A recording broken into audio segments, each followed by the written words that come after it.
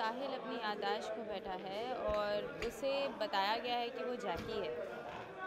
तो वेदिका बस कोशिश कर रही है, जो डॉक्टर क्या रेकमेंड किया हुआ डॉक्टर ने एडवाइस किया हुआ है कि उसको पिछली सारी यादें ताज़ा करने की कोशिश करो, क्योंकि उसको याद तो है, पर वो बिकॉज़ ऑफ़ उसको चोट लगी थी, इसलिए सब वो भूल गया है। तो आप कोशिश करते रहिए कि अगर कुछ याद आ जाए तो बट इट्स पॉसिबल कि याद ना भी आए वेदिका हैज़ डिसाइडेड कि वो कोशिश करती ही रहेगी क्योंकि साहिल ने उसे जितना प्यार दिया है वो उसको वापस रिटर्न करने का ये मौका है। किस तरह से कोशिश की जा रही है? क्या सजा आ, जैसे साहिल सब करता आया था साहिल ने तो बहुत कुछ किया है बट पूरा घर सजाना और फूलों से फूलों की बारिश करना और फ़ोटोज़ जो इतने सारे साहिल ने पहले भी किए हुए हैं, ये सारी चीज़ें जो साहिल ने की है, वो सारी वेदिका करने की कोशिश कर रही है।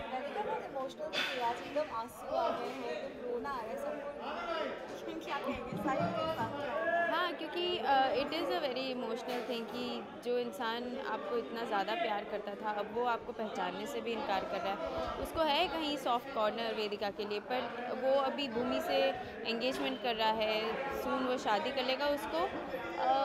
डिफरेंट रास्ते पे लेके जा रहे हैं उसकी जो माँ जो है नहीं बट स्टिल जो बोल रही है कि वो उसकी माँ है। और वो बेचारा लॉस्ट है। उसको समझ में नहीं आ रहा कि क्या सच है क्या झूठ है। तो उस सिचुएशन को लेके ऑफ़ कोर्स वेदिका तो बहुत इमोशनल हो ही गई हम कह सकते हैं वेदिका का रोमांटिक साइड दिखने वाला है क्योंकि हमेशा साहिल बेचारा कुछ ना कुछ करता है। हाँ वेदिका का romantic she she is going to try at the age of 48 49 with uh, being pregnant and uh, सामने वाला knowing nothing about what is happening. She is going to try what a what an ideal situation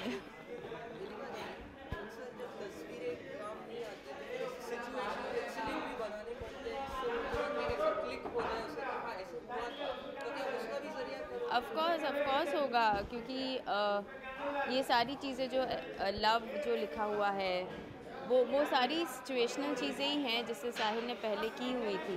ये सब अलग अलग चीज़ें जो वेदिका ने एक साथ करने की कोशिश की है ताकि इस तरीके से नहीं तो कोई और जो आगे भी आने वाली है ऐसी चीज़ें कि वेदिका किप्स ऑन ट्राइंग कि कैसे तो साहिल को पता चल जाए कैसे तो कुछ तो उसको कुछ इंसिडेंट याद आ जाए कोई एक इंसिडेंट तो उसके ज़रिए हम और कुछ यू नो उसे याद दिलवा सकें। Thank you.